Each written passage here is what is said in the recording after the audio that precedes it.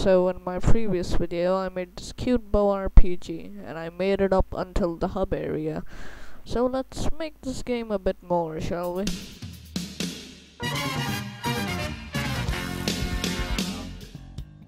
So I first started off the new devlog with adding a new NPC and I wrote a script for the NPC but the thing is I didn't actually write a new script because I already wrote a script for the science and I'm just gonna reuse that. And also I tried adding voice acting to the to the game but that kinda sucked. Well go die to some monsters then. well, if we get to Crimson Stone, then something magical will happen. Well that's the most I can give to you anyway. Well go die to some monsters then. Yeah, I don't know if I'm gonna keep the voice acting. I'll most likely get rid of it in the future. Mm, and then after the hub area, I'm gonna add another area, and it's gonna be the mountain area. So I added some walls and terrain, bumped up some of the terrain, a lot of trees and decoration, and added the final section, which is gonna hold the boss inside. And so inside it, I made the first real enemies cobras. A lot of them.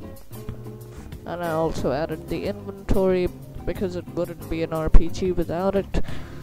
And then I added chests so you can actually get items, which is kinda cool. But the game is too hard. So I added healing.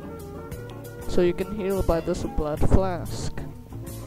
You can find the blood flask in the chest now the premise behind the blood flask is that the more enemies you kill, the more blood you have.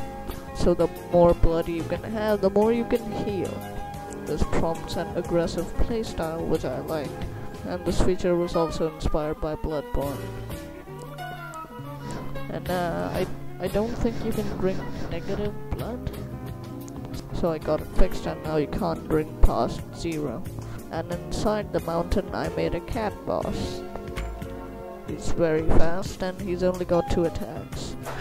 A ball throw and a normal attack. and he can also dodge your attacks faster than I can dodge uploading this video. He's extremely fast and extremely hard. And once you actually defeat the boss, a chest appears out of nowhere and gives you the meow key. I'm not sure what it's gonna do, but I'll figure that out later. And then I added the main menu so that we can actually play the game, which is kinda cool. And also the options don't work, as they always don't in my games. They're just for aesthetic purposes, because I don't actually know how to add options, but I'm sure I'll figure that out later. And I also added this very pretentious title screen, though it is a cool logo. Okay, then right beside the mountain is where I made a second mountain. So inside the second mountain I bumped up the terrain a bit to make it a bit more interesting.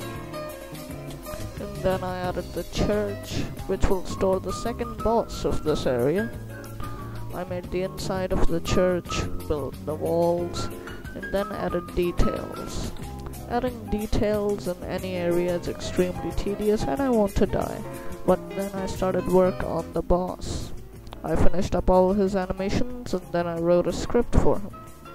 But the thing is, I didn't actually write a new script for him. I just reused the one I made for the cat boss and modified it. Yeah, reduce, reuse, recycle. Save the planet, copy your scripts.